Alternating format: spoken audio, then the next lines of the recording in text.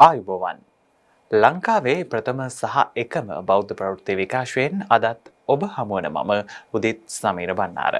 ප්‍රථමෙන් ප්‍රවෘත්ති ශීර්ෂ පාට.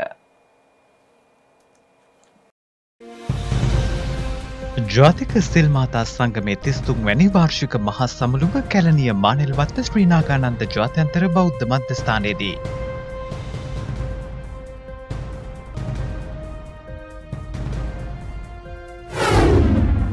හදට හදක් භාරකාර අරමුදලේ පස්සන සංවත්සරය වෙනුවෙන් ශ්‍රී ජයවර්ධනපුර මහරෝහලේදී පින්කමක්.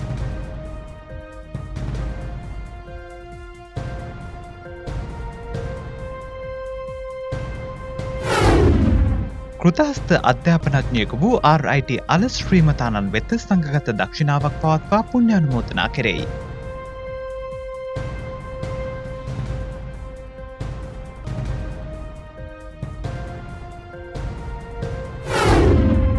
අභිනව ආරක්ෂක ලේකම්වරයා මල්වතු අස්කිරි මහනාහිමිවරුන්ගේ ආශිර්වාදය ලබා ගනී.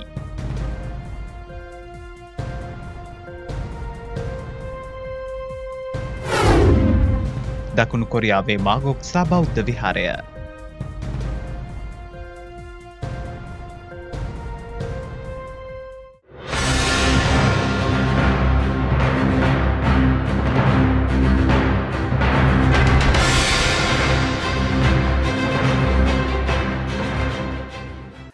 ජාතික සිල්මහතා සංගමේ තිස්තුන් වැනි වාර්ෂික මහා සමුළුව ඊයේ පැවැත්වුණා. ඒ කැලනිය මානෙලවත්ත ශ්‍රීනාගානන්ද ජාත්‍යන්තර බෞද්ධ මධ්‍යස්ථානයේදී.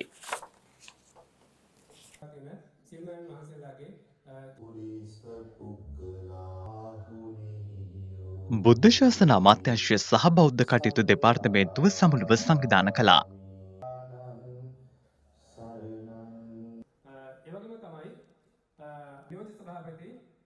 ශාමෝපාලි වංශික මහානිකායේ අස්කිරි විහාර පාර්ශවය අනුනායක අතිපූජ්‍ය ආනමඩුවේ ධම්මදස්ති අනුනාහිමිපාණන් වහන්සේ සහ සමස්ත ලංකා ශාසනාරක්ෂක බල මණ්ඩලයේ සභාපති පූජ්‍යපාද තුඹුල්ලේ සීලක්කන්ත නාහිමිපාණන් වහන්සේ ප්‍රමුඛ පූජනීය සංඝරත්නයද සිල්මාතාවන් අටසයකට වැඩි පිරිසක්ද ජාතික සිල්මාතා සංගමේ තිස්තුන් වැනි වාර්ෂික මහා සමුළුව සමගින් එක්ව සිටියා.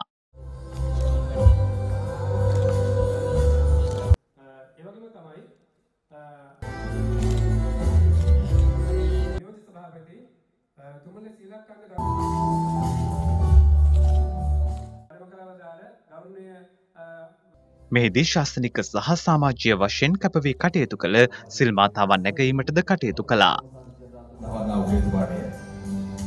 කටුකැලේ මේ වර්ෂ 1974 මාර්තු මාස 13 වන දින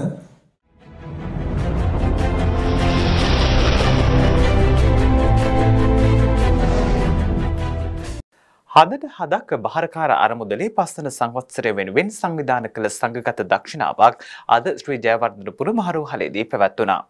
ඒ සඳහා හෘදය සැත්කමට භාජනය වූ ස්වාමින්ද්‍රයන් වහන්සේලා තිස්නමක් සහ සිල්මාතාවන් දෙදෙනෙක් එක්ව සිටියා.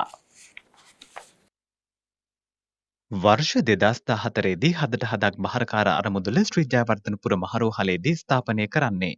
හෘදරෝග ශල්‍ය වෛද්‍ය විශේෂඥ රාජිතද සිල්වා මහතාගේ සංකල්පයක් මත හෘදරෝග විශේෂඥ වෛද්‍ය රුවන් ඒකනායක මහතාගේ සහයෝගයෙන්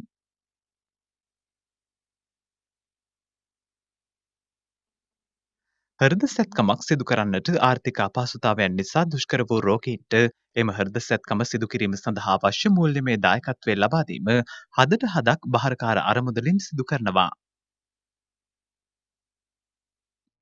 දිවයිනේ සිටින කිසිම රෝගියෙක් හෘද රෝගයක් හේතුවෙන් දිවියෙන් වන්දි ගෙවීම සිදු නොකළ යුතුයි යන උතුම් තේමාව මුල් කරගනිමින් මෙම භාරකාර අරමුදල ක්‍රියාත්මකයි. මේ වන විට මෙම භාරකාර අරමුදල හරහා හෘද රෝගීන් දෙසිය පනස් දෙනෙකුට පමණ බයිපාස් තැත්කම් සිදු කර ගැනීමට සහයෝගය ලබා දී තිබෙනවා.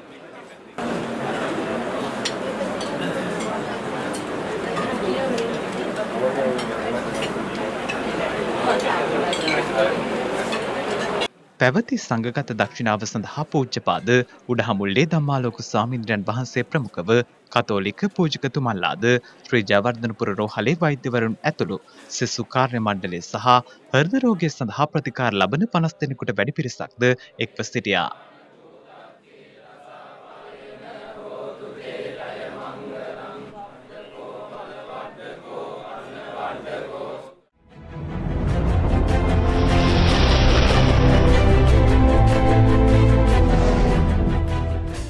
කෘතහස්ත අධ්‍යාපනඥයෙකු වූ දිවංගත RYT අලස් ශ්‍රීමතානන් වෙත පුණ්‍යානුමෝදනා කරමින් සංඝගත දක්ෂිනාවක් අද බොරැල්ලේ පිහිටි ඒ මහතාගේ නිවසේදී පැවැත්වුණා.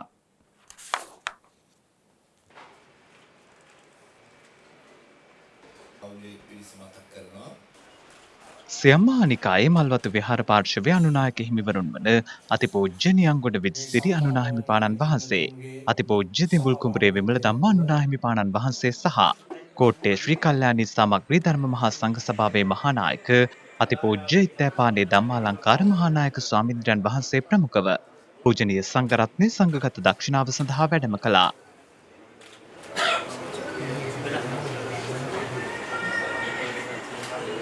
දෘතියම්පි බුද්ධං සලච්චාමි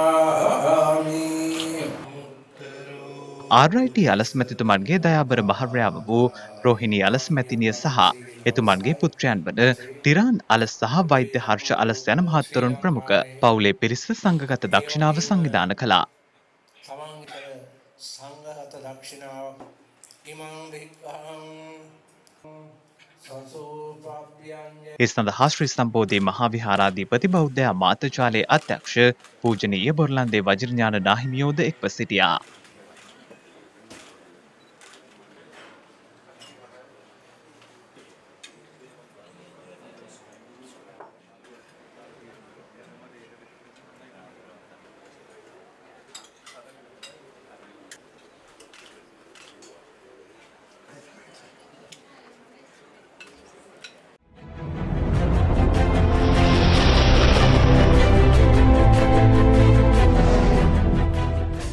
ආරක්ෂක ලේකම් මේජ ජනරාල් කමල් ගුණරත්න මහතා අද මල්වතු අස්කිරි මහානාහිමිවරුන් බැහැදැක ආශිර්වාදය ලබාගත්තා.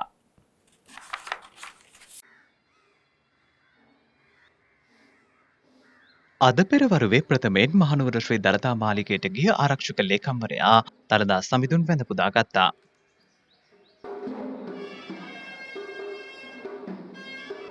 එහිදී ඔහුව පිළිගනු ලැබූයේ දීවට නිලමේ ප්‍රතිපිලංග දෑල මහතා විසින්.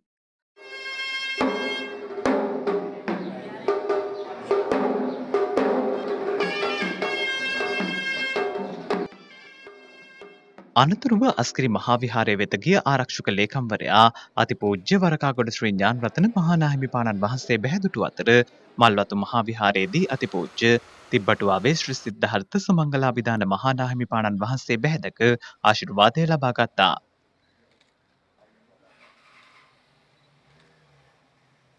මෙහිදී ආරක්ෂක ලේකම් කමල් ගුණරත්න මහතා සඳහන් කර සිටියේ අන්තවාදී ප්‍රකාශ හේතුවෙන් යම් ආගමකට හෝ ජනපිරිසකට හානියක් සිදුවන්නේ නම් එය සුදුසු නොවන බවත් නිදහසේ ආගම ඇදහීමටත් තමන්ගේ සංස්කෘතික වටිනාකම් අනුව ජීවත්වීමටත් අවශ්‍ය අයිතිය සිළු දෙනාට ලබා දෙන බවයි.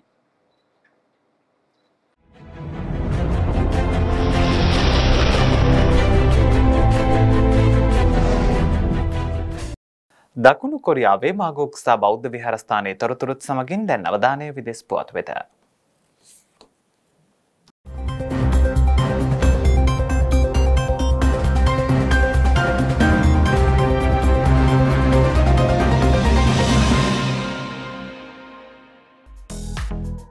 ටෝන්ඩෝසා රජ සමයේ ක්‍රිස්තු පූර්ව හයසිය හතලයේදී මෙම බෞද්ධ විහාරය ඉදිකර ඇත.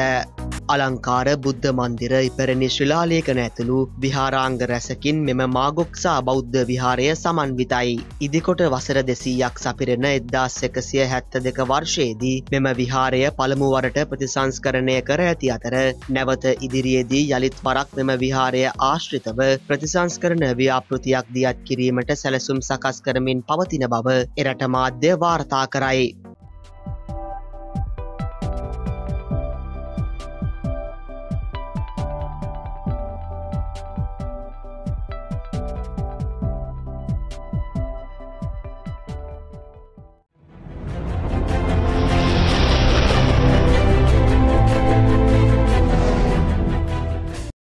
ඒත් සමගින් අදට නියමිත සුසන්දේශය ප්‍රවෘත්ති විකාශය මෙතකින් නිමාවට පත්වනවා. YouTube සහ සුසන්දේශය Facebook පිටිපොස්සේ ලංකාවේ ප්‍රථම සහ එකම බෞද්ධ ප්‍රවෘත්ති විකාශය සමගින් ඔබට දිනපතායෙක් විය හැකි.